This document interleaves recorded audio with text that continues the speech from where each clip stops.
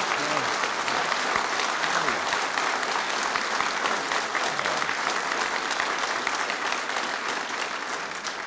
Thank you very much. That's, that's quite a reception for a horse cavalryman and a Navy flyboy.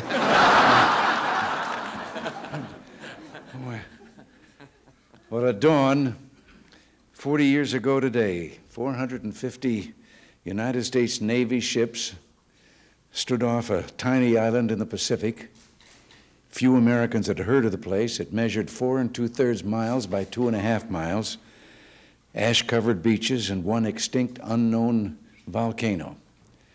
And at 7 o'clock, oh, 700 hours to you, it, uh, a command was passed to the ships land the landing force. No one, not even you, the Marines and Navy corpsmen who stepped ashore from the amtracs at two minutes after nine, knew that what you were about to do would forever enshrine the island, Iwo Jima, and the volcano Mount Suribachi in American history. Today, Iwo Jima is remembered with other names like Saratoga, the Alamo, Gettysburg. Remembered not simply because Americans were again conspicuously gallant in battle, but because our sons were called upon to endure unspeakable hardship for the sake of freedom. Every one of you present today and all of you 40 years ago have a special place in our nation's heart, reserved only for the few in every generation, called upon to sacrifice themselves so that a great nation's ideals of freedom and peace may live and prosper and endure. The manner of your performance, as captured in Joe Rosenthal's photo of your flag raising at Mount Suribachi, remains a beacon indeed a birthright for America's young people and for every future American.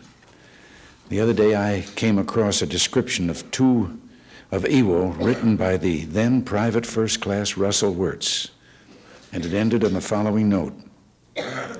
Our troop ships started to pull away from Iwo and head for Guam. As I stood by the rail and watched the little island fade in the distance, a feeling of loneliness came over me. It was as if a part of me was left behind, as if an Iowa farm boy was waving goodbye. We would never meet again. Somewhere in that jagged jungle of rocks, he forever walked with the ghost of Iwo. Well, I would like to say to Russell and to each of you who willingly gave your youth to the nation that you receive in kind a place in the American heart and the national memory that endures so long as this nation and the ideals for which it stands endure. We're very grateful to you. We're deeply honored to have you here today.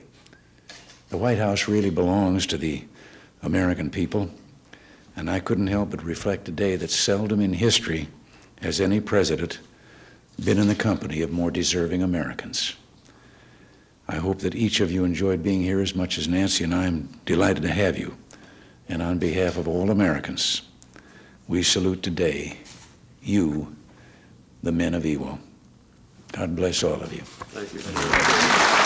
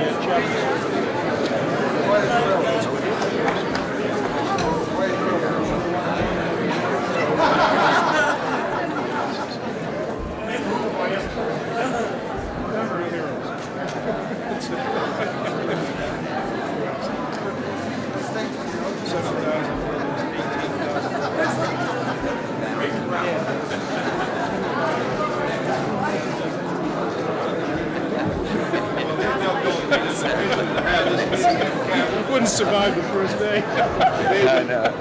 Great to see you. Good to see you, sir. You're doing just great. Good to see you. That'll give me a chance to get there. He'll come over and say hi to you. Hi. Well, it's wonderful to be with you all. It really is.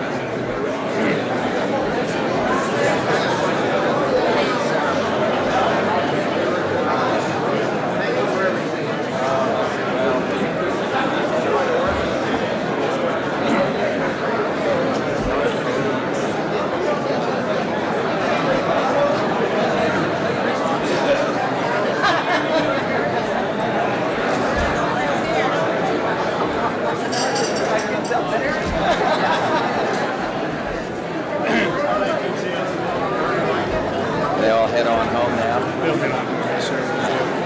Busy day, busy two days, really.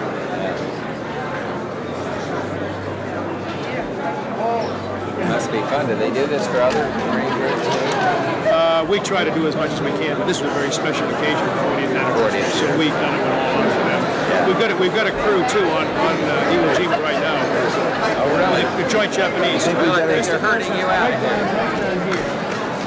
Monsignor Bradley, he was the chaplain of the 28th Marines when they took Suribachi. You might want to say, oh, oh. he's distinguished on the right of the collar.